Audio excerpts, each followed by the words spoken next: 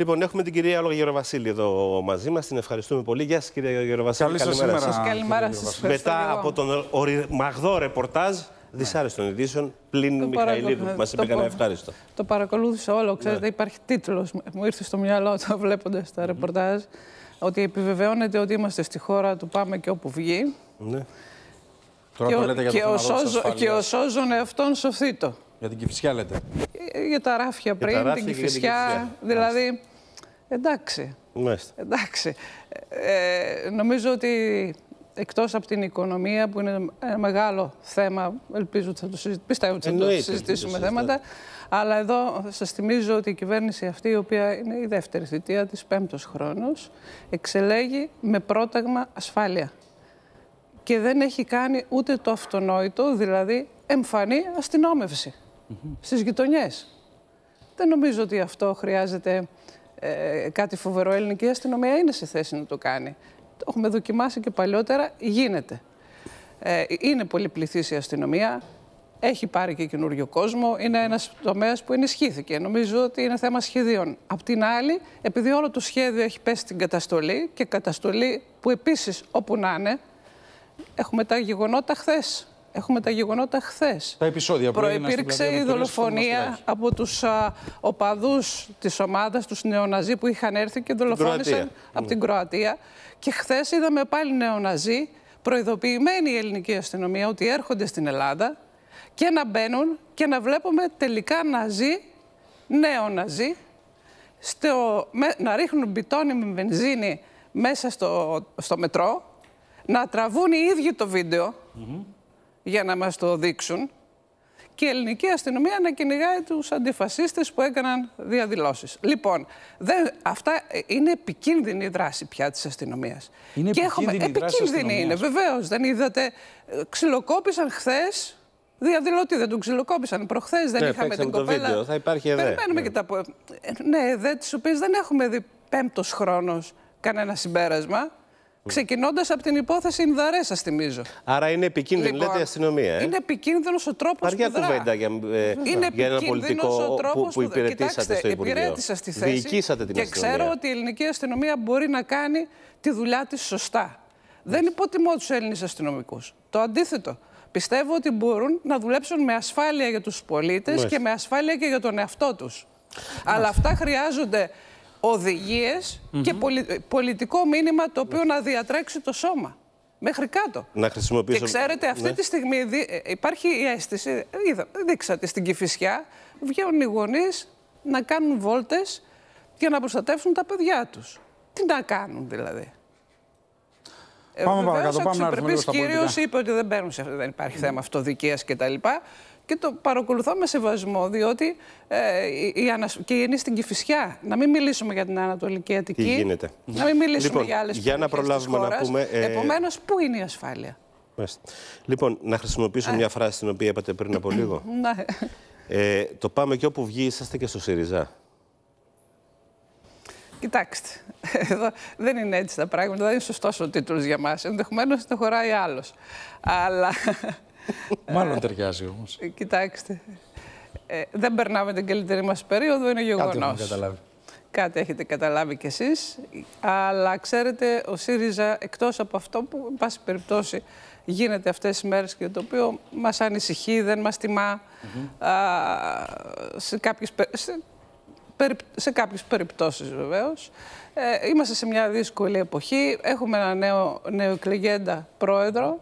Όντως δεν ήταν γνωστός σε όλους μας. Δεν είχαμε ομογενοποιηθεί κατά κάποιο τρόπο. Ωστόσο, εκτιμώ ότι και αυτό χρειάζεται το χρόνο του. Να, αυτό στην Α, έναρξή του, κυρία Γεροβασίλη. ορίστε. Γιατί τώρα είναι στην έναρξή του. Έναρξη αυτό είναι. μέχρι τη διαδικασία. Έναρξη είναι και Τώρα σήμερα όμως που υπάρχουν- μιλάμε. Για υπάρχουν λίγες συγκεκ- μέρες μιλάμε. Ναι. Ξέρετε, ο πολιτικός χρόνος Λίγες μπορεί να. εβδομάδες, Ε, λίγες μέρες γνώσιες είναι. για τον ΣΥΡΙΖΑ, αλλά Είναι- τώρα έχουμε είναι- γεγονότα μπροστά είναι μας. πυκνός δηλαδή ο πολι- έχουμε παραπομπή για τέσσερα στελέχη για διαγραφή. Κεντρική Επιτροπή σε 9 μέρες, αν δεν κάνω λάθος, 8-9 μέρες, στις 11, το, το επόμενο ναι, ναι, ναι. ε, Σαββατοκύριακο.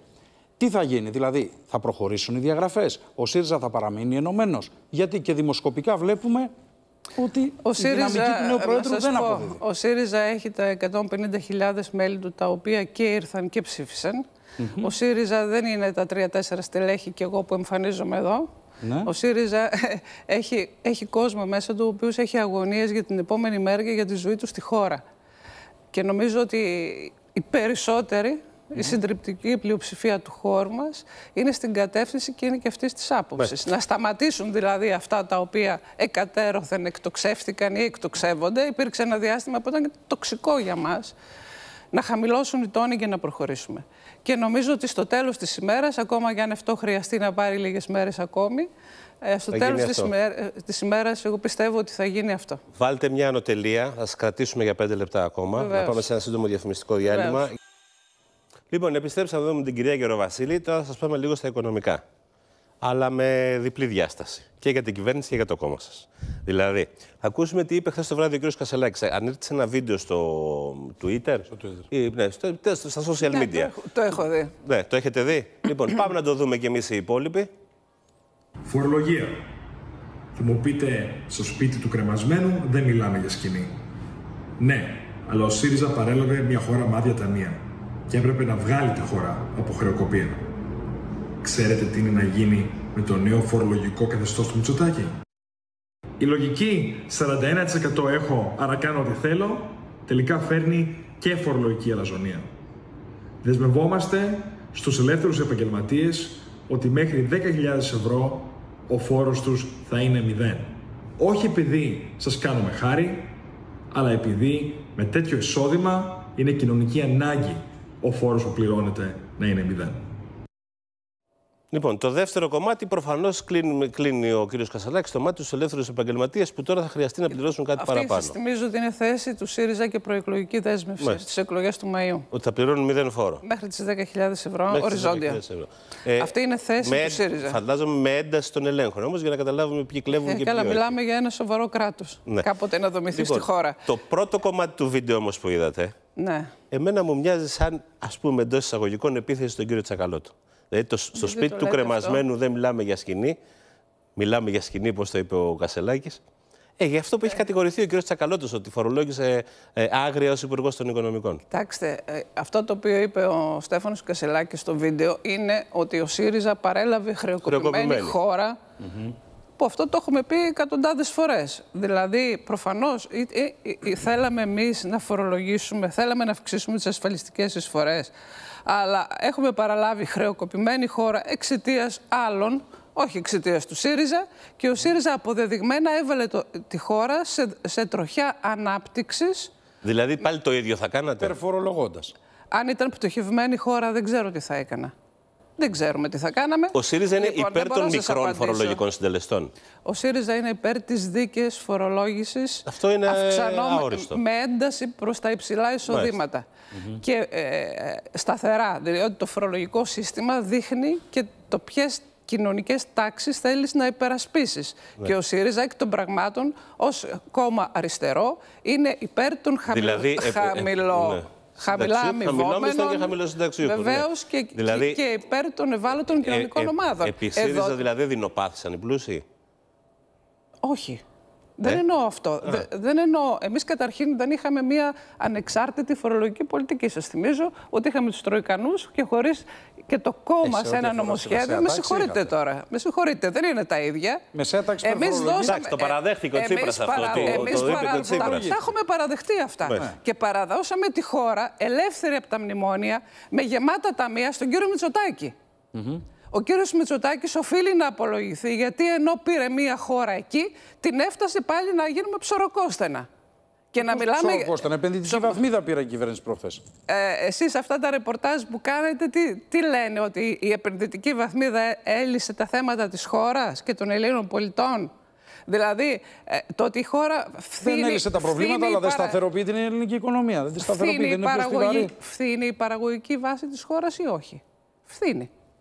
Άρα, συγγνώμη, είμαστε, Αντιλα... Ε, είμαστε το ψωροκόστενα. Το Ταμείο Ανάκαμψης έρχεται να λύσει αυτά τα ζητήματα. Όχι. Ε. Πόσες εταιρείες θα το μοιραστούν, Πηγαίνει στους μικρομεσαίους, πηγαίνει στην υγεία, πηγαίνει σε υποδομές του κράτους που είναι απαραίτητες για να υπάρξουμε. Απορροφήθηκαν τα χρήματα Δηλαδή, για την πολιτική και η επενδυτική προστασία. Για την έχει έρθει. πολιτική Και προστασία. τα χρήματα του Ταμείου Ανάκαμψης. Με συγχωρείτε. Και οι δείκτες της μακροοικονομίας Οι πάνε δείκτες- καλά και εμείς οι είμαστε δείκτες- ψωροκόστενα. οι δι- Λέω, εγώ δεν, δεν, κα- δεν είπα ότι η χώρα μας είναι, αλλά μίλησα για μοντέλο ψωροκόστενας. Μοντέλο, Έτσι. Το οποίο δεν αποκλείεται να το δούμε να εξελίσσεται μπροστά μας τον επόμενο διάστημα. Διότι και οι Έλληνες φεύγουν στο εξωτερικό. Τι σας θυμίζει αυτό, δεν σας θυμίζει το 50-60. Και κουπόνια τρώνε τόσα χρόνια, με κουπόνια τρώνε τόσα χρόνια οι Έλληνες. Αυτό τι σας θυμίζει; Μην κάνουμε ότι δεν καταλαβαίνουμε. Καλά, υπάρχουν και Λοιπόν, άλλα οικονομικά μεγέθη. Έτσι. Και υπάρχουν και άλλα Άρα οικονομικά τώρα είμαστε μεγέθη. ψωροκόστενα. Μάλιστα. Ήρθε λοιπόν, σας είπα για το μοντέλο ψωροκόστενα, Μοντέλο. Ναι. το οποίο η χώρα μας φαίνεται να ακολουθεί. Αυτό είπα. λοιπόν, τώρα, α, από εκεί και πέρα, ήρθε χθες και λέει οριζόντια φορολογία η κυβέρνηση, διότι οι επαγγελματίες, οι ελεύθεροι και οι μικρομεσαίοι, παιδιά είναι απαντεώνες. Οριζόντια. Αυτό είναι δικαιοσύνη στο φορολογικό σύστημα ή αδυναμία της κυβέρνηση. Άρα να ήμασταν στο προηγούμενο σύστημα, κύριε καιρό. Βασίλη, Α, να ναι. δήλωνε κάποιος Όχι. ελεύθερος Να επαγγελματίας γίνουμε ένα 7.000 κράτος, ευρώ να και να γίνουμε- ζούσε με 100.000 Να ευρώ. γίνουν, όχι, αυτόν σήμερα πια στα, τι, δεν δε λέει η κυβέρνηση και αυτό θαυμάζεται ότι έχει κάνει το ψηφιακό κράτος το φοβερό και ότι έχει όλες τις πληροφορίες η, η, η ανεξάρτητη αρχή, Ναι, δε, ναι. η- η- έτσι, όλες τις πληροφορίες και θα γίνουν διασταυρώσεις και θα πιάσει τη φοροδιαφυγή. Αυτά δεν ακούτε τόσο καιρό κι εσείς κι εμείς. Και τώρα τι μας λέει η κυβέρνηση; Απέτυχα, ήθελα, αλλά δεν μπόρεσα. Ευχαριστούμε, κυρία Και επειδή Γεροβασίλη. απέτυχα, έρχομαι τώρα και λέω: Κοιτάξτε, πάμε τώρα οριζόντια, επί δικαίων και αδίκων και όπου βγει. Την Κυριακή το πρωί τι κάνετε; Έχετε κάποιο, θα φτάσετε στην περιφερεια. Στην εκκλησία δεν πάω. Ωραία. Θα έρθετε Αν- αν ρωτάτε να αυτό. έρθετε στη δημο... στην δεντροφύτευση που κάνουμε. Το όλοι μαζί μπορούμε στην Πεντέλη. Να φυτέψουμε δέντρα. Να φυτέψουμε δεντράκια.